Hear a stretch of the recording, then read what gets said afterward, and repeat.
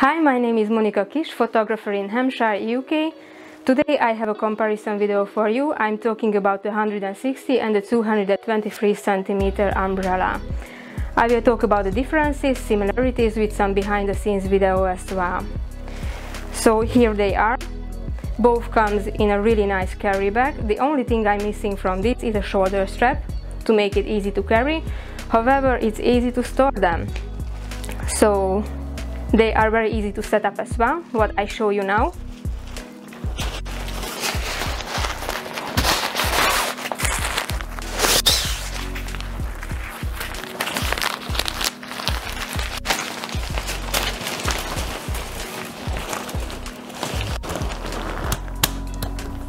The umbrellas are huge size, but not too heavy.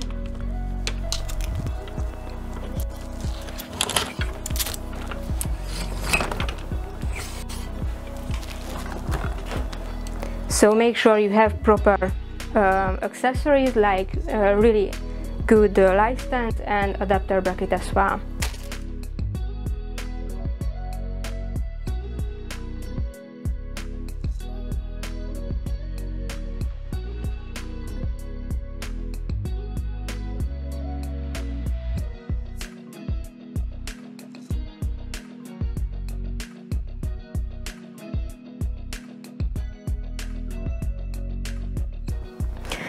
They are built very well with fiberglass frame, so they are fairly flexible, not the traditional metal frame which broken very easily, so these are much durable.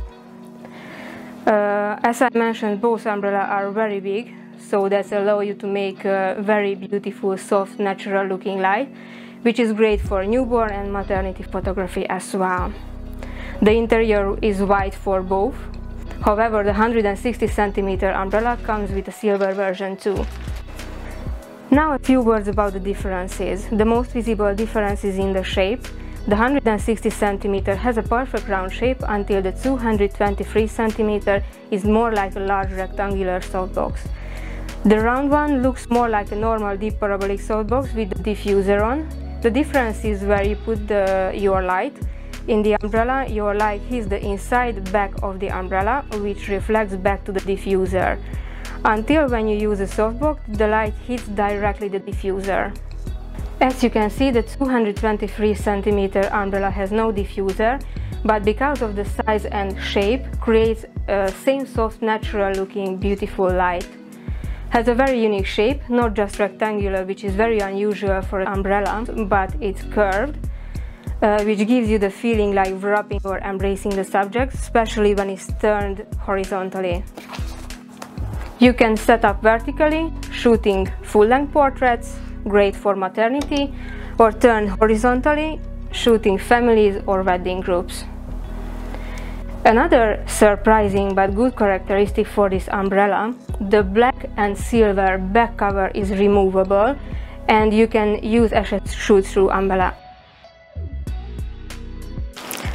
So this is it and you have a really cool shoot-through umbrella. Another difference is in the catchlight in the eye. If you don't prefer the perfect round shape white dot in the model's eye, you can avoid that with the rectangular shape. Now let's see a behind the scenes video about one of my maternity shoot.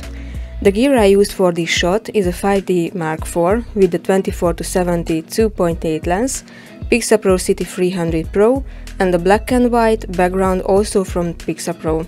First I used the white side of the backdrop and for every single shot I had the same camera settings ISO 500, f6.3, shutter speed 180 of a second. This will help you to see the exact difference between the umbrellas, how they are reflecting and shaping the light. On the end of the shoot you will see all the photos side by side for a good comparison. The model is standing right at front of the background and I placed the light source about 1.5 meter away in a 45 degree angle. I took a full and a half body shot and a close-up portrait. I used the 160 cm umbrella first with the diffuser on and then without. After then I used the 223 cm vertically and horizontally with the back cover on. On the end I did the same, just removed the back cover and I turned the umbrella to the model and I used as a shoot-through modifier. After all, I turned the background and I did all the setups again just with different camera settings. ISO 640, f8 and shutter speed 180 of a second. Here are the final unedited shots to compare them. You can see that there is not much difference between the photos, all has a very nice soft light without any harsh shadow. However, you can see a very little change between the highlight and the shadows. Overall, both are great light modifier. If you have a small shooting area, might the rectangular can save some space for you when it's opened, because it's not so wide and deep. But if you like to use round shape softboxes, definitely try the 160cm umbrella. I personally like more the 160cm because I can control the light better with the diffuser on, not spreading the light everywhere, but I'm surprised how much I love shooting with the rectangular as well. I hope you liked this video. If you have any questions, please leave a comment below. Thank you. Bye.